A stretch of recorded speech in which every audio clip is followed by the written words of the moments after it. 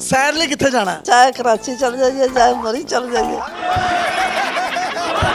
चाहे कराची चले जाए चाहे मरी चले जाए हालांकि फरिश्ता इनको साइकिल पे बांग्लादेश ढूंढ रहा है और ये यहाँ पे हनीमून का सोच रही है बच्चे कितने एक्सपेक्ट कर रही हैं कितने के बच्चे होने चाहिए दो ਲਾਓ ਨੀ ਲਾਓ ਇਹਨੂੰ ਸ਼ਗਨਾ ਦਾ ਗਾਣਾ ਲਾਓ ਨੀ ਲਾਓ ਇਹਨੂੰ ਸ਼ਗਨਾ ਦਾ मन ते फुमन हज़ार मेरे बंदड़े ते। फोर एट पे किसी कर ले फोर एट पे किसी कर ले फोर एट पे किसी कर ले। अस्सलाम वालेकुम नाज़रीन आपका मेज़बान यासर शामी आपकी खिदमत में हाजिर हैं और आप देख रहे हैं डेली पाकिस्तान। मोहब्बत की कोई सरहद कोई उम्र नहीं होती। मेरे साथ आप ये जो शख्स देख रहे हैं इनका नाम इफ्तार है और इनकी उम्र सैंतीस साल है। ये इनकी जवान सत्तर साल कवारी बीवी हैं जिनका नाम किश्वर है जबकि ये इनकी पहली बीवी है जिनमें से इनके छह बच्चे हैं। चार आपको यहाँ पर मौजूद नज़र आ रहे हैं जबकि दो होम्योपैथिक डॉक्टर के पास दवाई लेने गए हुए हैं। इफ्तार साहब को किश्वर के साथ प्यार था और ये जवानी का प्यार था। ये दोनों शादी करना चाहते थे लेकिन इनकी शादी हो ना सकी इनकी वालदा नहीं मानती थी। लिहाजा इन्होंने दिल पे पत्थर रखा और कुलसूम के साथ शादी कर ली और तवातर से बच्चे पैदा होते रहे। जो किश्वर साहिबा हैं इन्होंने शादी नहीं की। यही कहा कि मेरी शादी होगी तो इफ्तार के साथ होगी। आज तकरीबन 33 बरस के बाद किश्वर की अपनी जवानी के प्यार के साथ शादी हो रही है।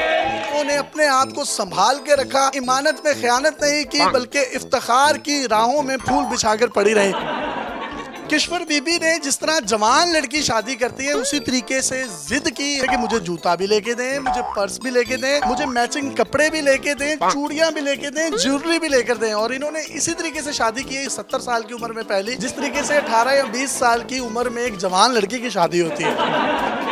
आप इनके निकाह की फुटेज भी देख सकते हैं, जिसमें सत्तर साल किश्वर और उनके हस्बैंड इफ्तार बैठे हैं और निकाह खान निकाह करवा रहा है। इसी के साथ साथ जवान लड़कियाँ जैसे बूम रैंक्स बनाती हैं, इनमें हाथों पर लगी हुई मेहंदी की वीडियो भी बनाई है इन्होंने।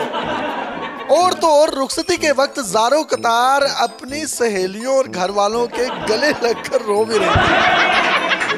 अब ये दोनों बीवियों के साथ एक ही घर में रह रहे हैं। आपका बचपन का प्यार इतनी लेट आपको मिला है। हाँ। आप सैंतीस साल के ये सत्तर साल की मैं बिल्कुल छोटा से मैंने पसंद करता था। मैंने प्रपोज किया लेकिन साड़ी शादी नहीं हो सकी। शादी क्यों नहीं हो सकी? कोई मसला सी? तो वालदा नहीं मान रहे मेरे जो घर वाले ने मेरी शादी कसूम देना करते ਜਿਹੜੀ ਪਹਿਲੀ ਉਹ ਮੁਜਾਹਿਦ ਬੈਠੀ। ਜੀ ਬਿਲਕੁਲ। ਮੇਰੇ ਛੇ ਬੱਚੇ ਪੈਦਾ ਹੋਏ ਨੇ। ਇਹਨੇ ਸ਼ਾਦੀ ਨਹੀਂ ਕੀਤੀ। ਇਹਦੀ ਵਾਲਦਾ ਜਦੋਂ ਫੌਤ ਹੋਈ ਤੇ ਇਹਨੇ ਮੈਨੂੰ ਦੱਸਿਆ ਕਿ ਤੂੰ ਹੁਣ ਵੀ ਅਗਰ ਕਰਨਾ ਚਾਹੇ ਤਾਂ ਮੈਂ ਕਰਨ ਨੂੰ ਤਿਆਰ ਹਾਂ। ਹਫ਼ਤੇ 'ਚ ਸੀ ਤੁਸੀਂ ਦੋਵੇਂ? ਹਫ਼ਤੇ 'ਚ ਸੀ। ਮਿਲਦੇ ਮੁਲਦੇ ਵੀ ਸੀ? ਕਦੇ ਪਾਰਕ ਕਦੇ ਕਿਤੇ ਮੁਲਾਕਾਤ ਹੋ ਜਾਂਦੀ ਸੀ। ਪਾਰਕਾਂ 'ਚ ਮਿਲਦੇ ਰਹੇ ਹੋ ਤੇ ਇਹ ਜਿਹੜੀ ਮੁਹੱਬਤ ਦੀ ਕਹਾਣੀ ਹੈ ਇਹਦੇ ਵਿੱਚ ਤੁਸੀਂ ਹੋਰ ਕਿਸੇ ਨਾਲ ਵਿਆਹ ਕਿਉਂ ਨਹੀਂ ਕੀਤਾ? ਮੈਂ ਕਿਹਾ ਮੈਂ ਹੋਰ ਨਹੀਂ ਕਿਸੇ ਨਾਲ ਕਰਨਾ। ਕਰਨਾ ਤੇ ਇਸਤਖਾਰ ਨਾਲ ਕਰਨਾ ਜੇ ਮੈਂ ਨਹੀਂ ਕਰਨਾ।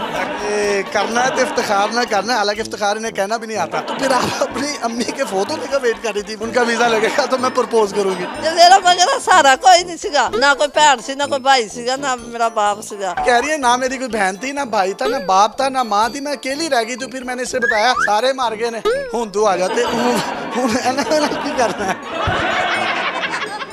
आपका कुलसूम बीबी बड़ा हौसला है आपने अपने हस्बैंड को इनके सुपुर्द कर दिया। इनके सुपुर्द नहीं मैं तो कहता हूँ ये सुपुर्द खुदा की है आपने।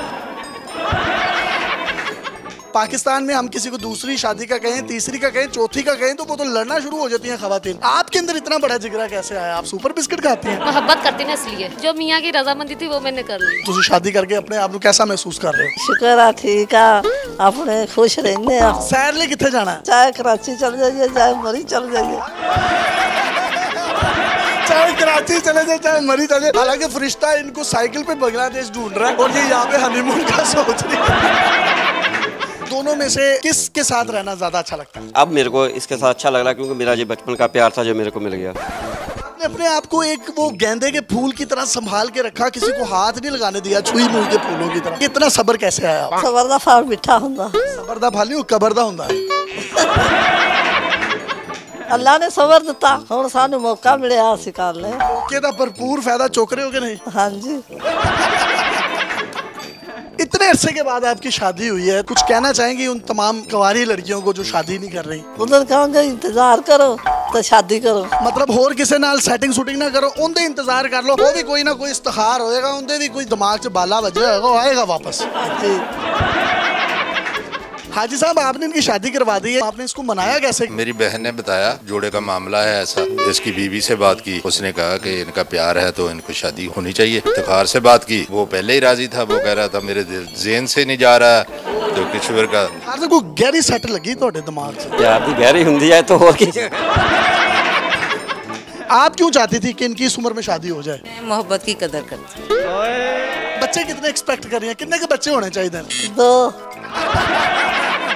ਲਾਓ ਨੀ ਲਾਓ ਇਹਨੂੰ ਸ਼ਗਨਾ ਦਾ ਗਾਣਾ ਲਾਓ ਨੀ ਲਾਓ ਇਹਨੂੰ ਸ਼ਗਨਾ ਦਾ ਗਾਣਾ ਗਾਣੇ ਤੇ ਫੁੰਮਣ ਹਜ਼ਾਰ ਮੇਰੇ ਬੰਦੜੇ ਤੇ 48 पे किसी कर ले 48 पे किसी कर ले 48 पे किसी कर ले